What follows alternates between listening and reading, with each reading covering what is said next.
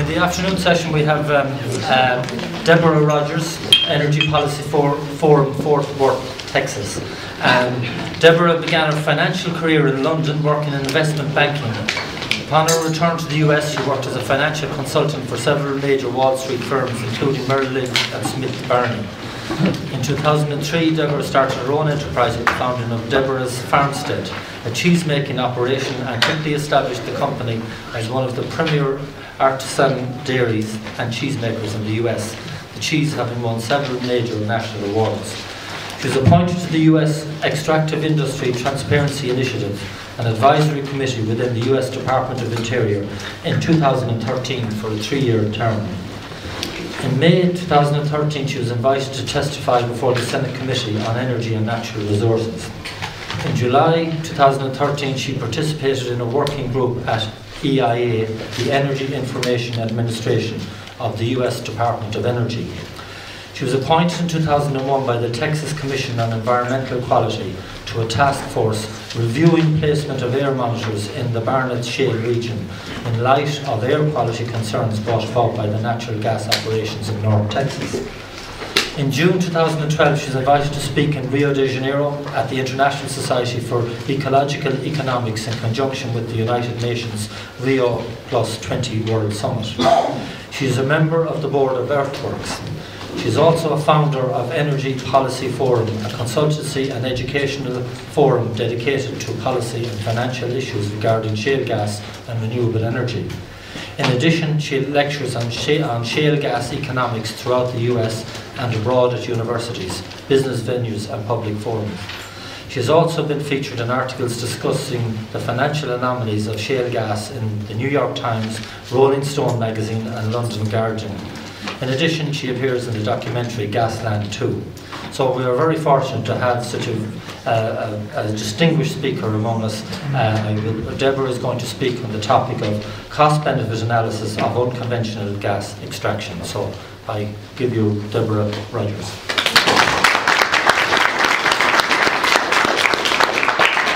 Thank you so much for inviting me here. Um, I have to tell you, when Aedín first rang me or emailed me and uh, invited me to Ireland, I was so excited because I haven't been to Ireland in a number of years.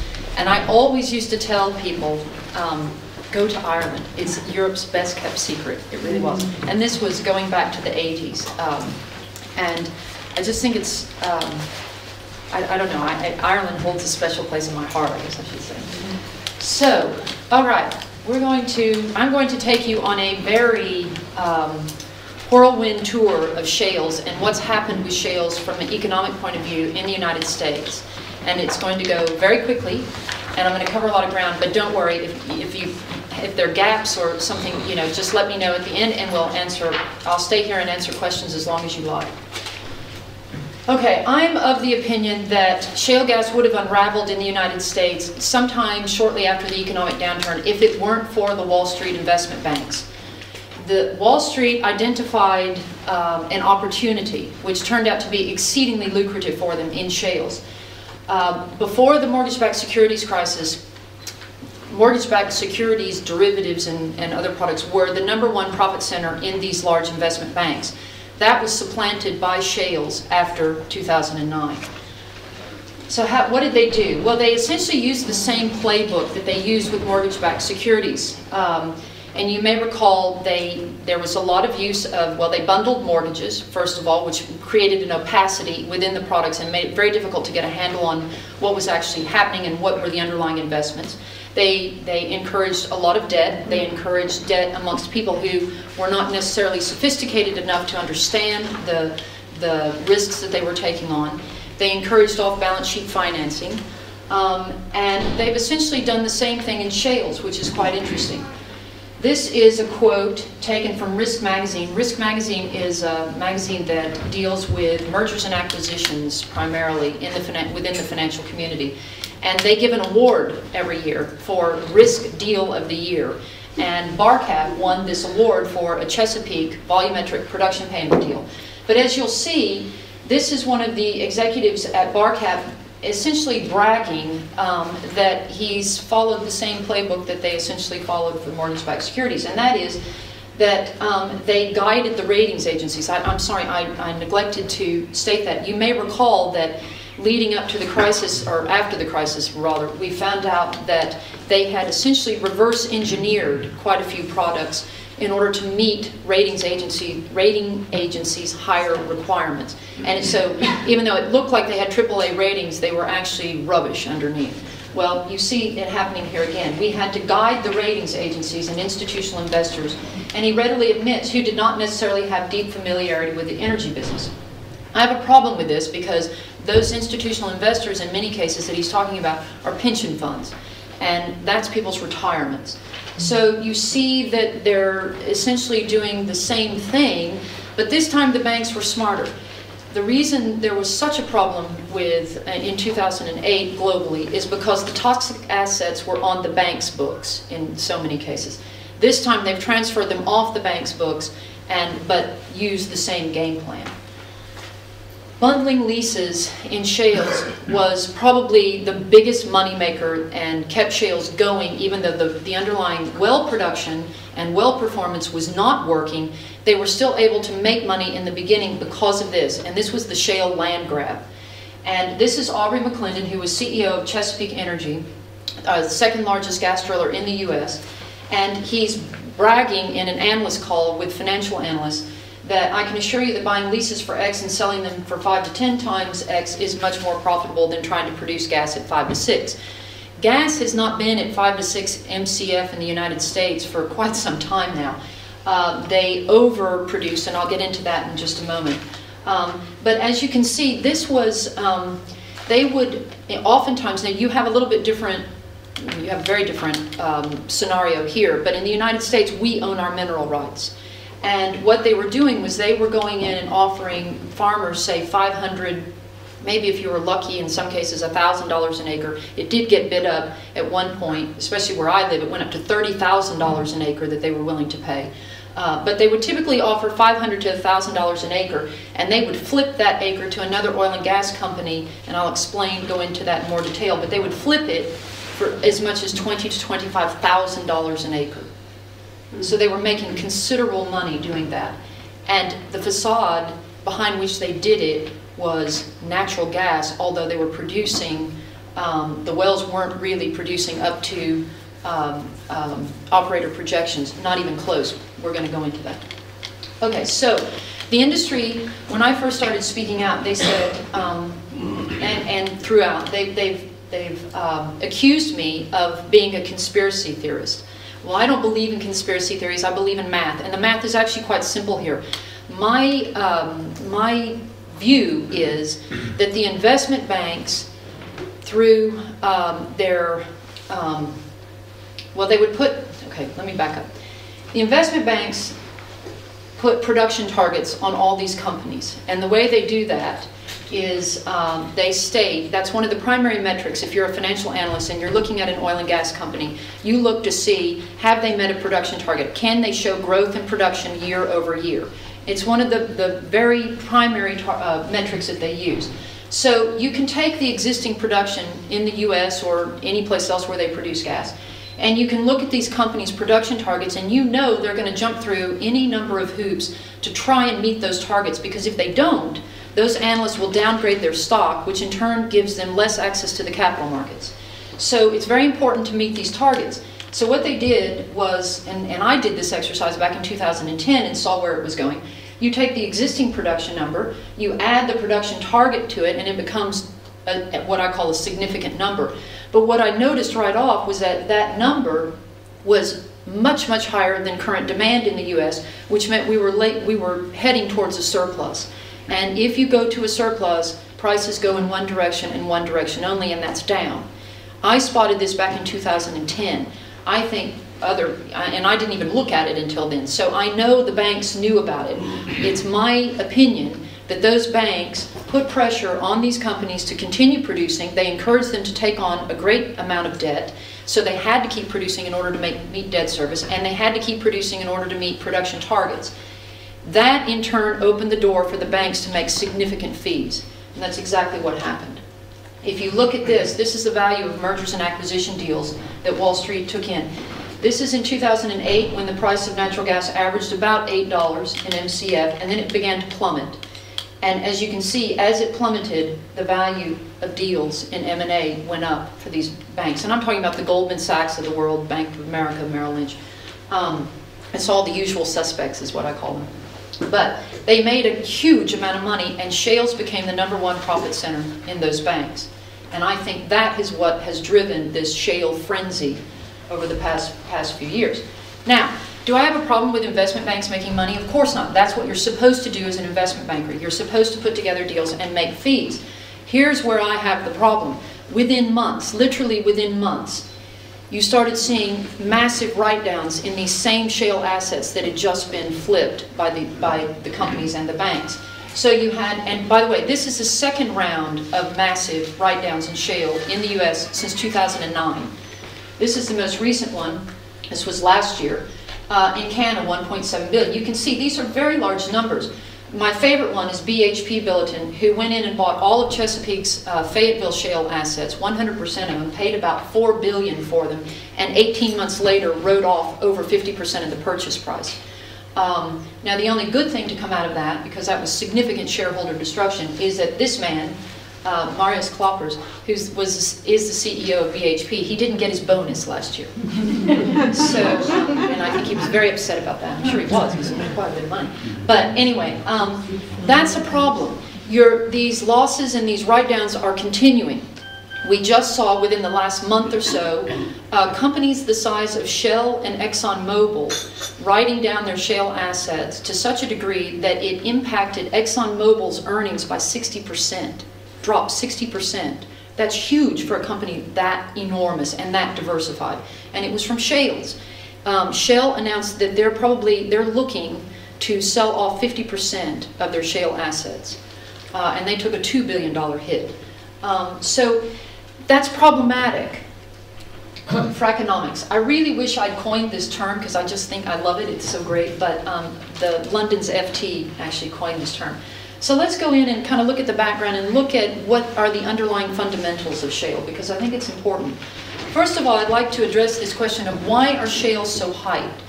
I think, in a word, it's competition, interestingly enough. What if I were to tell you that there are actually deals being done quietly, you don't read about them too much, but they are actually being done, that um, are investing in core infrastructure projects with high gross margins and revenues that are fixed for 20 to 25 years. Now everybody in a low interest rate environment is chasing yield and they're chasing anything that they can lock in for any length of time. These projects are offering double digit rates of return in this interest rate environment. Guess what those projects are? They're large commercial scale wind and solar. Um, our clean, in the US, our clean economy grew by 8.3% during the economic downturn. That was over twice what the regular economy, um, the, uh, the average of the regular economy. So you can see, this isn't lost on the oil and gas industry, I can assure you. And so the more they can convince us that we can rock along, that we have cheap and abundant sources of hydrocarbons for decades and decades to come, it's in their interest to do so because then it will be business as usual and it will impact perhaps investment going forward in green technologies, and that is indeed what has happened to some degree in the U.S. We also hear a lot about jobs from the oil and gas industry, and I find this um, particularly interesting. I went in, when you hear these glowing reports coming out of the U.S. on jobs created by shales, the, these numbers are, without exception, taken from economic models, they're projections. And um, economic models, as anybody who's taken Economics 101 knows, economic models are only as good as their input. And you can essentially reverse any economic model to make it say whatever you want it to say. You just change the numbers up. So I'm always very skeptical of economic models. I don't like to use them in my work. I, I, prefer to just look at what's actually happened. So that's what I did. I went in and I pulled the figures from the Bureau of Labor Statistics. And this is what I found, which I thought was very, very interesting indeed. And I wasn't expecting to find this, by the way but I found it nevertheless. Direct industry jobs. Forget about all the peripheral jobs that they add on. Um, and I'm going to touch, well, let me touch on that first because it, it, it'll bring a little bit of comic relief. When we got in and started parsing out some of these industry economic models, we found that some of the jobs that they claimed they were creating were things like strippers and prostitutes. I'm not kidding. Um, and arguably, that is job creation. It's just not the sort of job creation that you or I hope for or think of when we hear these glowing job numbers. Um, nevertheless, so I went in and I just looked at the people just employed by oil and gas. This number, by the way, isn't just shales. This is for all oil and gas in the U.S., onshore, offshore. But these are direct industry jobs, about 181,000. Renewables, and in this I only counted wind, solar, and geothermal. Renewables accounted for 183,000, interestingly enough. So the jobs numbers were relatively even. But then I thought, well, you can't stop there. You've got to make, you know, proper comparisons. And so I went in to look at what percentage of total energy generation capacity does oil and gas provide in the U.S., and it's 45%, whereas renewables are only providing 15%.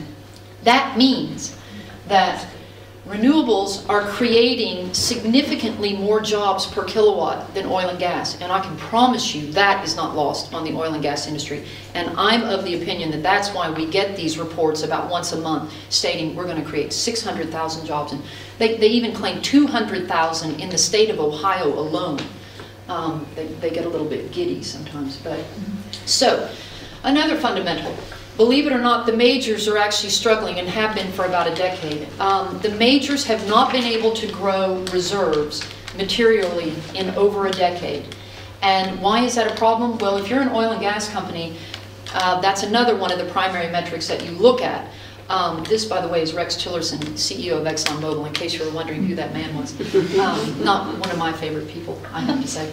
But anyway, um, they have to show that they are replacing reserves because why? If you've got a finite product, you're, you're selling it off, people are using it on a daily basis, and if you don't replace those reserves, you're just, you're just going to deplete yourself down to zero. So it's one of the primary metrics. Interestingly enough, one quarter of the majors' reserves over the last decade has come from nothing but acquisitions nothing but acquisitions. In other words, they're just going over to a smaller oil and gas company and saying, we're going to take your marbles and we're going to pull them over here into our giant pile. And the other things that they've been doing, which are interesting, is share buybacks, share repurchases. And that sounds, it may sound complicated, but it's really not. What, what they're doing, it's, it's a little bit of accounting smoke and mirrors to my mind because they go in and you want to see growth in earnings per share, right? You want to see that because that shows a company's healthy and it's growing the majors, in order to get around that, because they wouldn't have growth if they didn't do it this way, they go in and they repurchase their own shares so that there are fewer shares in the market, and then they divide their earnings into fewer shares, and it makes it look like they're still on this upward trajectory in, in earnings per share. Now, admittedly, a financial analyst sees through that immediately, but nevertheless, they do that, and ExxonMobil has been doing it. They have been buying back their shares $5 billion a quarter for the last four, five, six years. $5 billion a quarter, that's 20 billion a year, doing nothing but buying their own shares back. Um, I find that interesting. Again, taking ExxonMobil, if you look at their reserve replacement ratio, uh, they announced it for 2012 a few months ago, and I was, I was shocked.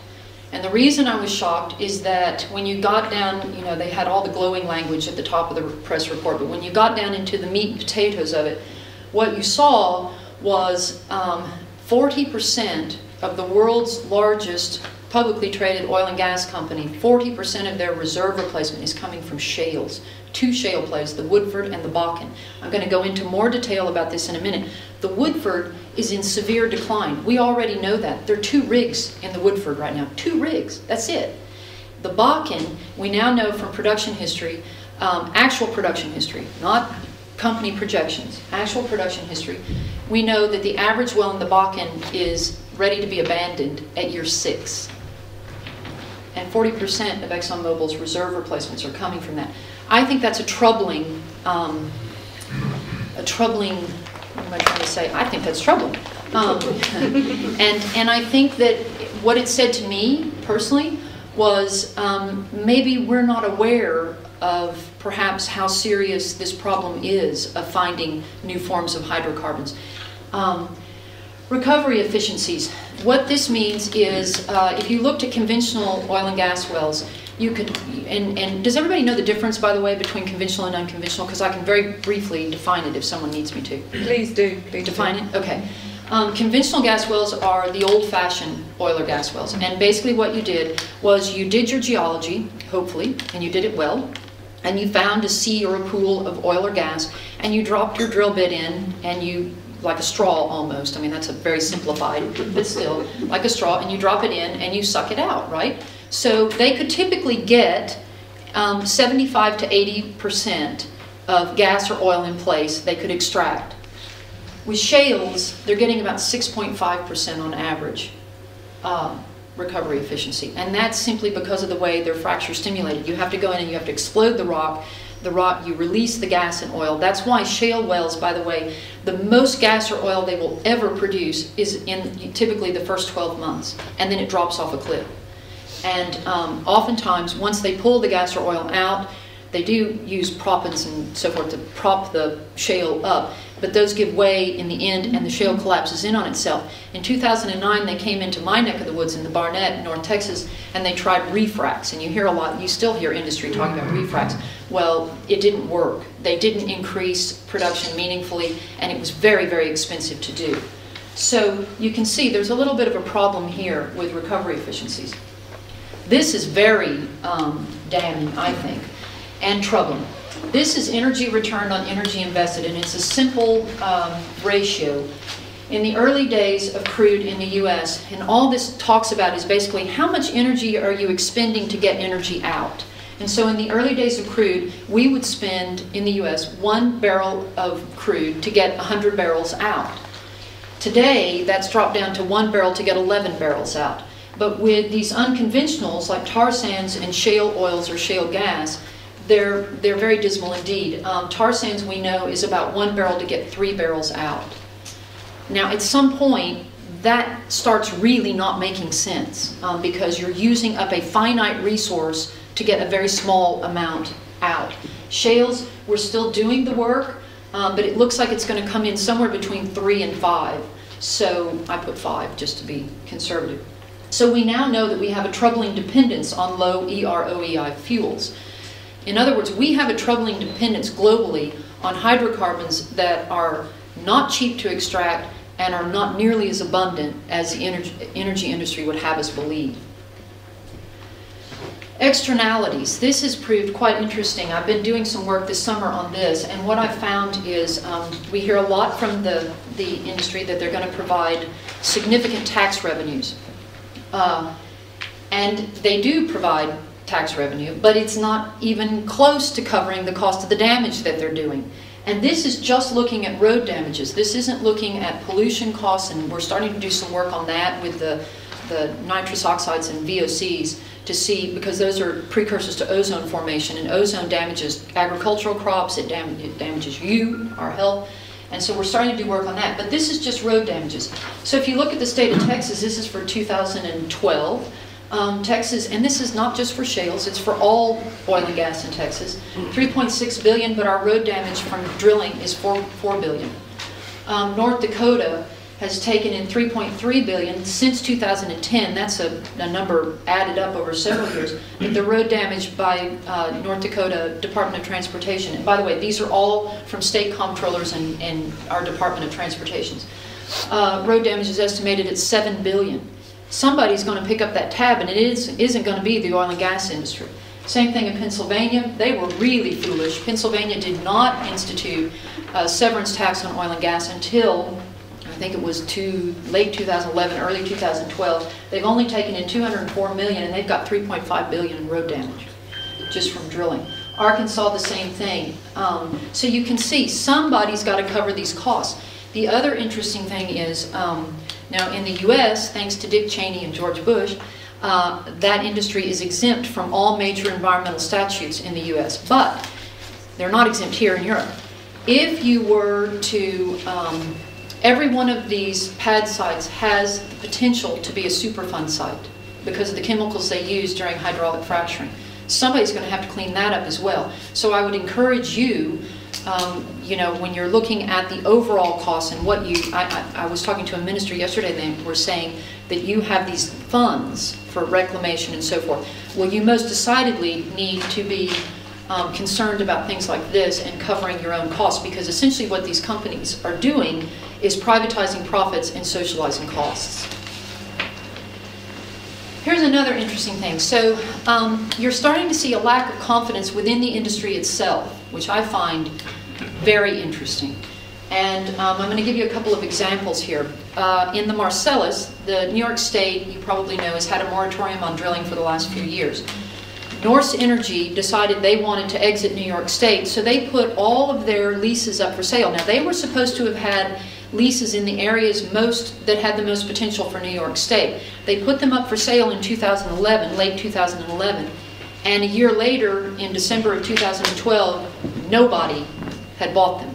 No one wanted them within the industry. Now, presumably, the industry's been making, you know, talking about, well, that moratorium is going to be lifted at some point. Well, if it is, then those leases ought to have value, but nobody wanted them. Same thing happened with Anschutz Exploration in New York. They didn't even try to sell their leases, they just abandoned them. And, and I'm talking about costs that they've already embedded in these projects to the tune of hundreds of millions of dollars, and they're just walking away from it. No one will buy them.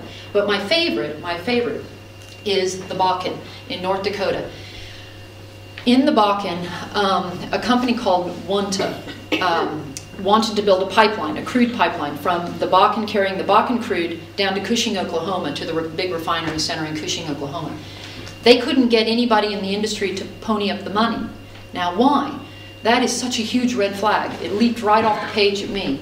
And I'll tell you why I think it is. And, I, and, and interestingly enough, I wrote an article on this and it got picked up by all sorts of industry publications and reposed. But the reason, the only reason for this, because Pipelines are cash cows. They're very expensive to build. You have ex ex extensive upfront costs. But once you've recouped those costs, um, they and, and you have a product that's going to last decades and decades to come, like they've promised us shale will, then you have this income stream and you, you just have a cash cow on your hands for, you know, 20, 30, 40 years. No one would put the money up in the Bakken because we now know from examining the actual production history that the average well in the Bakken is played out by year six. It's done. It's ready to be abandoned by year six. So they don't have this long window of opportunity. They can they can spend the, the money for the pipeline, but th they know the crude isn't going to last there. So all this talk about two Saudi Arabias sitting in North Dakota, it's just it's rubbish. And the industry recognizes that. So what did the industry do? They put this great spin on it and they said, we're going to ship um, crude by rail. Well, shipping crude by rail mm-hmm. costs three times as much as shipping crude by a pipeline. That tells you right there. They're willing to pay that extra expense because they know we have a finite window here, it's very short, and we need to just get the crude out and, and be done with it. So I think that that's an interesting um, aspect of this, is the, their own lack of confidence within the industry. So what's happening with the companies now? For those of you who don't have business backgrounds, um, I won't I won't dwell on this very long because I don't want you to all fall asleep. But if you look at capex, which is just um, it stands for capital expenditure. If you look at what these companies have spent um, over uh, drilling and completing wells, it's quite staggering. And um, let me go to the next slide.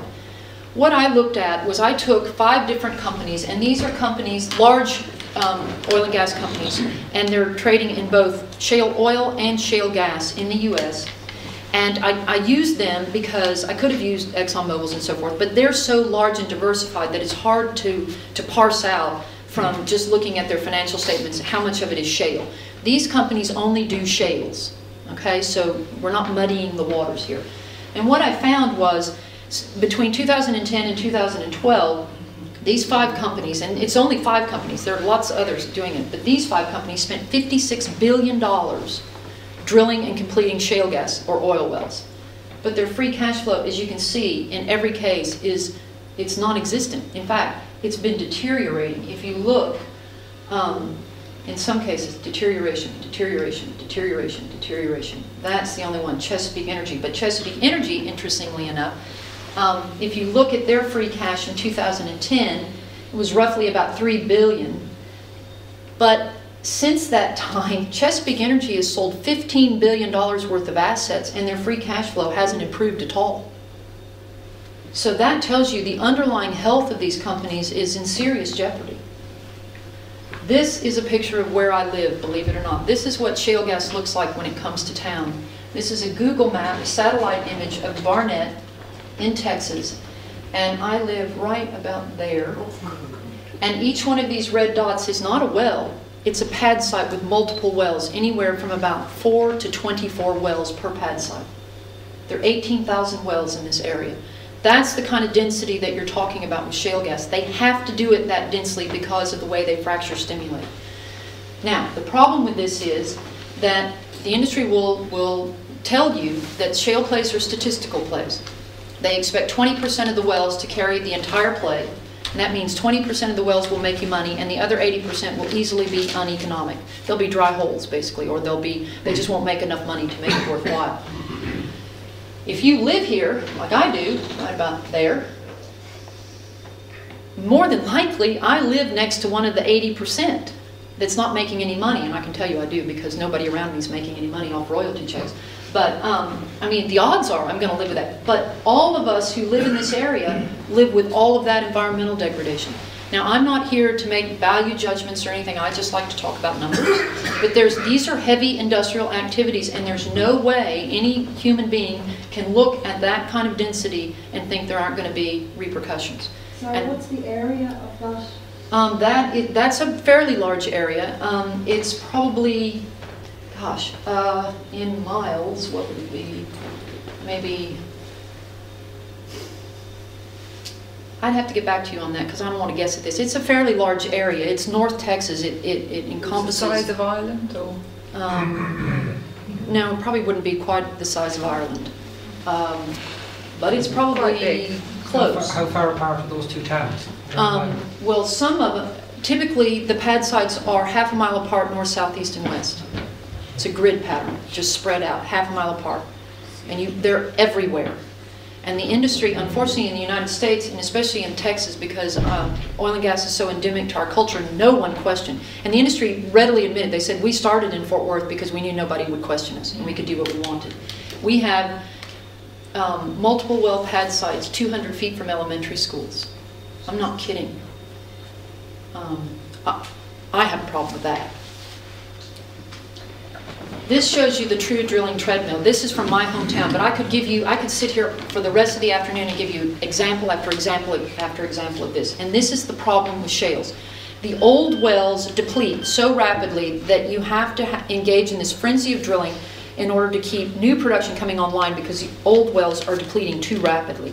They have not been able to do keep production stable in any shale play in the U.S. to date. This is a great example of it because we think we're going to be rich, right? Shale gas is coming to town. They tell us we're going to be rich. We're going to make all this money. That's exactly what the city of Fort Worth thought in 2008. And we took in $50 million from only 44 gas wells. Now, this includes signing bonuses and all of that. But, but anyway, we took in 50 million and everybody thought they were going to be, I'm not kidding, they coined this term, a shaleionaire. By the end of 2012, the city only received 23 million in revenues, but look at the number of wells. We had tenfold increase essentially in the number of wells and over 50% decrease in revenues. That is shale.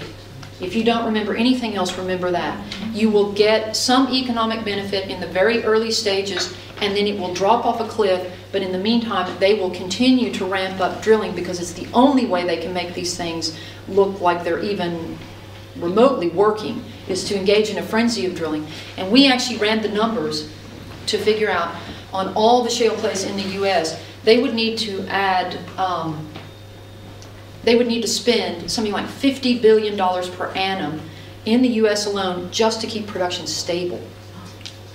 Not to even grow it, but just to keep it stable. That's not, they can't do that. That's so far beyond the capacity of the industry at present. I mean, they would have to have, you know, like some miracle from heaven to help them. And then to close up, this is, um, just because I think this is sort of interesting, just again show you the density of the wells and what they're doing now. I'm ashamed to say that of all the first world countries, the United States is the only one um, that still allows flaring. It's an antiquated process, there's absolutely no reason to use it. They use it because it's cheap, but it is highly polluting. Um, They, you can, there have been studies done for the Canadian government, uh, and they noted that benzene, which is a known human carcinogen, is still at quantifiable levels uh, as much as three and a half miles downwind of a natural gas flare. The, this is the flaring in the Bakken Formation. The Bakken Formation is in the middle of nowhere. It, I mean, you're out in the prairie in a pasture, and look, it looks like a city now. And all they're doing is burning off natural gas because the prices are so low in the U.S. they don't even think it's worth their while to keep it. That, to me, is the most egregious mismanagement of natural resources um, all these wells, oh, another thing about the Bakken, because you're starting to hear a lot about shale oil, and I promise you they will start talking about it here. Um, but what we're finding is that the Bakken production actually peaked in June of 2010, three years ago, but the number of wells has doubled. And, and remember, that's just the same story that I just gave you about the city of Fort Worth. Um, this one, all right, you're seeing the same thing in the Bakken. It peaked per production, I mean, per well production peaked three years ago. They've doubled the well, so it looks like production's still growing, but you're about to see, you're gonna see the Bakken So taper out they're, here they're within the taking oil out and just burning the gas. That's That's why right, that's yeah. exactly right, because the gas is just worthless to them right now. It's so cheap. Industry is flaring or wasting enough gas to power all the homes in Chicago and Washington combined for a year. This is Eagle Ford, and I mean, it's down, I'm from Texas, this is, this is down in the Chihuahuan Desert. This is Eagle Ford. Oh, sorry, this is Eagle Ford.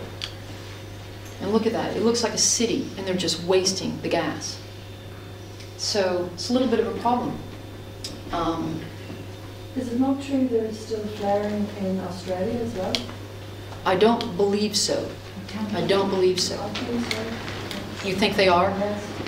Well, it's my understanding that um, of the first world countries, the U.S. was the only one, everybody else had banned it. But I could be wrong, I could be wrong. I Uh, don't think But it's, anyway, I don't think it's banned in the UK either. I don't what? think it's banned in the UK No, I think it is. because the company planning to drill in County Antrim, I'm pretty sure they still talked about flaring in their Submission is flaring. Now, this application. Is- this Well, is- then I have bad information. Well, this is extended well, to- this is to test the Oh, flows, yeah. et cetera. Well, the- But they want to flare at that stage. Ah, yeah. Yeah, but they don't need to do that. It's an antiquated process. Well, they told us in public meetings that it was antiquated, it was old hat, it was frowned upon in the industry, so we thought, you know, it was a good news story that, you know, trust us. And then in the planning application, they're going to be flaring for 12 hours a day, et cetera, et cetera, Yeah. so, yeah. Yeah, they claim they do, well, they do do it to clean out the well bore, but they don't have to do it. They can use green completions, but it adds more cost to the well. To, to the chair, So- uh, sorry, 30 years ago in the Middle East and Saudi Arabia, I know they were burning off the gas. And then at that stage, they began to bottle it, you know, for consumption. Uh, but I'm not sure what's happening there now in the early 80s. Right, right. Well, um, the problem with this is that what the industry used to do, and the prudent thing to do, is when you're um, overproducing or if gas prices are that low, they ought to shut in these wells. And, um, and that's what they should have done. Our gas price wouldn't have plummeted as much as it did if they had shut in the wells and done what the, the industry typically did. And, um, but they didn't do that. And I kept going around, that was one of the interesting things. That's how, actually how I got involved in this because I kept asking friends at home who were in the business, why are you still out there drilling when prices have plummeted so much? This was after the economic downturn. And nobody had a good answer for me. And um, the way I got involved in this is that I went to a Chamber of Commerce lunch where Aubrey McClendon came to town. He's our biggest driller. They were. Chesapeake was our biggest driller in Fort Worth. And um, he was throwing out numbers. And I was sitting there adding them up in my head, and I thought, I must have missed something. That doesn't make sense. Um, that can't be right. And I went home and I pulled Chesapeake's financials, and when I saw these shale companies had incredible debt, I mean, huge amounts of debt, no cash on their books, which was most unusual, again, for an oil and gas company. They usually sit on mountains of cash. They had no cash, and it became very clear to me instantly that they were still out there drilling because they couldn't meet debt service unless they continued to drill. And then when I really started getting into it and looking at it, that's when I noticed these production price targets, or production targets, I mean, from the investment banks, which were encouraging them to drill even more. They had to meet production targets, and it was just, it was just, the price of natural gas was just sliding. And by June, uh, sorry, January of 2012, nat gas in the US went below $2 an MCF. And some investment analysts were saying, well, it's going to go to zero. I mean, it's going to be absolutely worthless if they don't, you know, shut in production. This is another interesting fact. Some companies like um, Chesapeake and Chesapeake's always kind of the bad boys, but some companies announced that they had cut production, and then when we went in and looked later, and it's not just me, um, uh, Reuters and Bloomberg also did some analysis, uh, they found that they cut it for like two days while they made this press announcement, and then they ramped it right back up. And um, so it never did really stabilize the price, so it's always been a problem.